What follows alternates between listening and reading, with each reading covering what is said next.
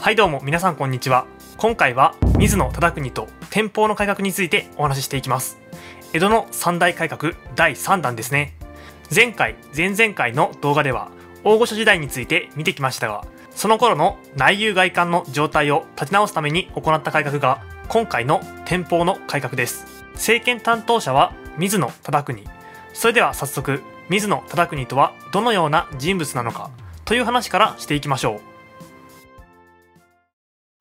1794年今回の動画の主人公である水野忠国は唐津藩水野市の家に生まれました。唐津藩といえば九州に位置する藩で代々佐賀藩を助けて長崎を警備する役目を果たしていた藩です。しかし出世欲の強い水野忠国は唐津藩にいる限り長崎の警備を任される。そうなると幕府の重職につけないと考えます。こうして忠国は自ら浜松藩への転封を願い出てその願望を実現させるのです。その後も水野忠国は賄賂やコネなどありとあらゆる手段を使い出世の階段を上っていきついに西の丸老中に就任しました。西の丸老中という役職は大雑把に説明すると次の将軍の側近といった役職です。この時の将軍は徳川家成だったのでその次に将軍になるのは家成の息子。その側近として水野忠国は地位を固めていくのです。この家成の息子こそが江戸幕府第12代将軍徳川家吉です。さてこうして水野忠国は徳川家吉の側近になったので家吉が将軍になるとともにエスカレーター方式で幕府の政治に参画するという道筋が開けました。しかしそう簡単に物事は進みません。徳川家成は将軍職を家吉に譲った後も大御所として政治の実権を握り続けたのです。家吉と忠国は名前だけの将軍と名前だけの老中主座といった状態で実際に政治を行うことはできませんでした。そんな状態だったので徳川家吉は部下の言うことに対して創生創生とうなずくことしかできず創成功という不名誉なあだ名を付けられています。時が経ち徳川家成が死んだことで長きにわたる大御所時代は終了。やっと政治の実権が降りてきて徳川家吉の下で水野忠国が力を発揮する環境が出来上がったのです。こうして始まったのが天保の改革です。水野忠国が中心となって行われたこの天保の改革ですがもちろんお手本としたのは享保の改革と完成の改革です。大御所時代に緩みまくった政治を引き締めて幕府の政治を立て直すそのような理想を掲げて水野忠国は強圧的にさまざまなことを統制していきます。この改革は国内向けの政策と国外向けの政策がありますのでまずは国内向けの政策から始めていきましょう。この頃の江戸がどのような状況だったかというと周辺の農村からとにかく人が集まってきておりもはや幕府の手に負えないものとなっていました。なので水野忠国は江戸の人口削減を目指して法令を出します。これが人返しの方です。内容としては江戸にやってきた人物を新しく戸籍に入れるのは禁止。江戸にやってきた人物のうち日が浅いものは早く帰らせる。一時的な出稼ぎは許可が必要。といったようにとにかく江戸の人口を減らそうとしたのです。また経済面でいうと物価が上がって困っていました。なので幕府は物価を下げようと考えるのです。こうして出されたのが株仲間解散令です。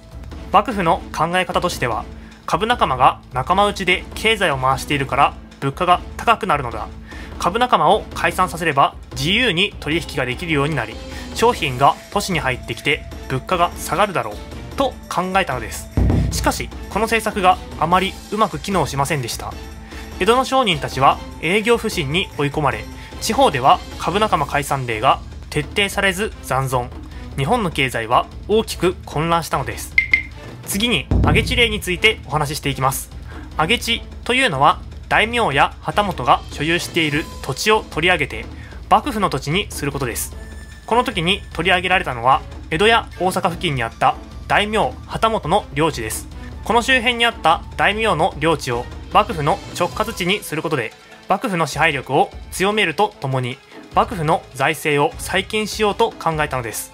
しかしもちろんですが大名や旗本は反対します。それどころか百姓や町人さらには御三家や大奥老中までもが抵抗したため結局この上げ地令は撤回されました。もはや江戸幕府の命令に従わない人々がたくさんいて下からの圧力によって幕府が命令を撤回するといったほどに幕府の力は衰えていたのです。こうして断行された天保の改革ですが庶民からの評判はすこぶる悪かったそうです。すでに時代は移り変わっており教法の改革や官制の改革を真似してみても大きく変わった社会構造に対応することはできませんでした。特に上げ地令に対する反対運動は激しさを増し最終的には水野忠国排斥運動に発展します。こうして水野忠国はだんだんと孤立。いろいろな人の反感を買って退陣に追い込まれてしまうのです。さてここまでは国内政策に注目して官制の改革を見てきましたが一度時間を戻して今度は官制の改革の国外向けの政策を見ていきましょう。この間日本に驚くべき知らせが届いていました。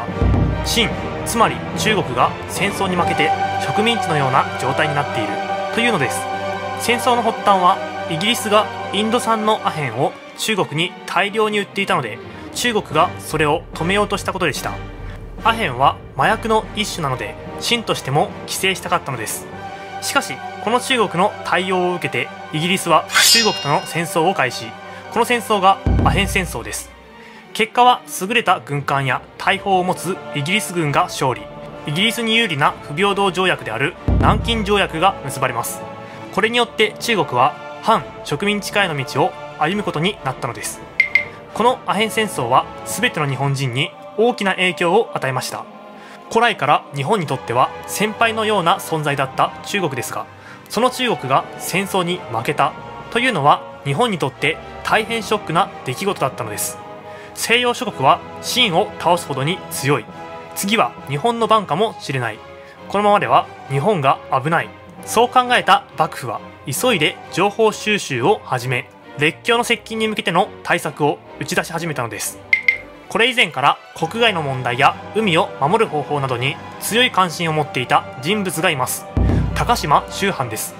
長崎の町年寄りだった秋藩は欧米列強の接近に危機感を感じて西洋式の軍備を整備するように幕府に意見しています。幕府はその意見を採用し西洋式砲術の訓練を行ったり大名に対して軍備強化を指令したりしました。ところがそのような準備を行っている最中にオランダ商館から極秘情報が伝わってきます。アヘン戦争に勝利したイギリスが次は日本に艦隊を派遣して開国を迫る計画を立てているというのです。当時の日本は異国船打ち払い令が出ていますのでもしイギリス艦隊が日本にやってきたら民衆は艦隊を攻撃します。そうなると戦争に発展するでしょうしかしイギリスは清ですら敗北する大国です。日本が勝てるわけがありません。このままでは日本が危ない。そう考えた水野忠国は異国船打ち払い令を撤回。代わりに浸水給与令を出しました。浸水給与令というのは異国船が助けを求めてきたら薪や水を与えろという内容の命令です。幕府は異国船打ち払い令のような好戦的な方針を変更して戦いを回避する方向へと方針を変えたのです。しかしこれはただの時間稼ぎ。根本的な問題の解決には至っていません。幕府は時間を稼いでいる間に江戸湾周辺の防備体制を強化したり砲台や見張りを増設したり警備を増強していきます。しかしそんな時に水野忠国が失脚。天保の改革は終わりを告げました。